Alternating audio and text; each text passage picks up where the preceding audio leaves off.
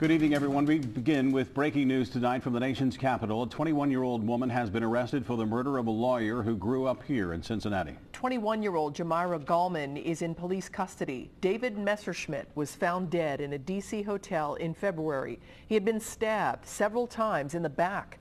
Police released surveillance video of a person of interest, but it's not clear tonight if Gallmon is the person seen in this video. Messerschmitt, who was an Anderson High School graduate, was working for a D.C. law firm.